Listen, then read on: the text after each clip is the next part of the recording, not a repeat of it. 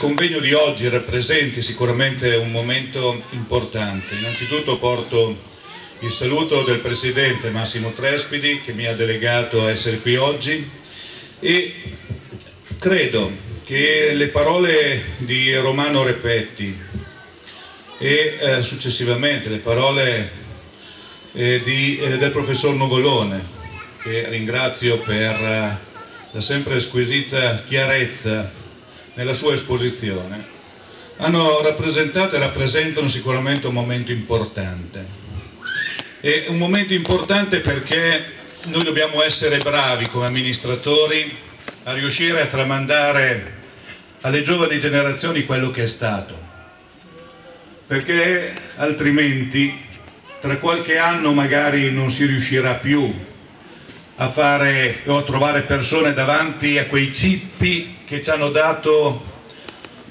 e hanno lasciato lì persone che però ci hanno dato la possibilità di vivere in pace, in democrazia e di darci la possibilità di poter parlare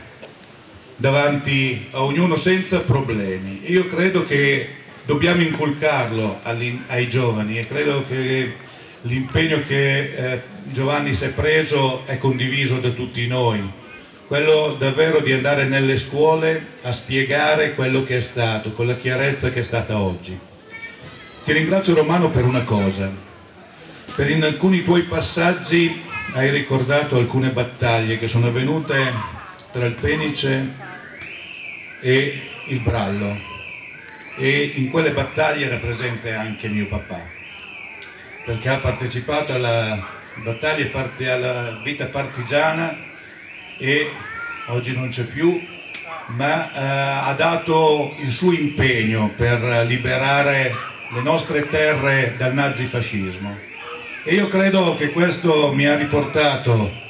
alla memoria alcuni passaggi, alcuni racconti che lui mi aveva fatto.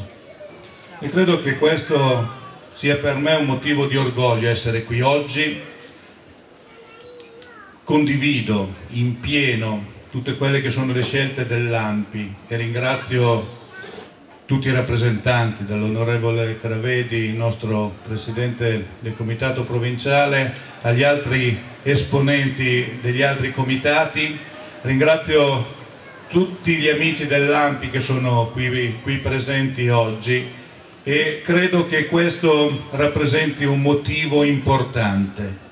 Stiamo uniti, cerchiamo di portare avanti questi valori perché solo su questa base riusciremo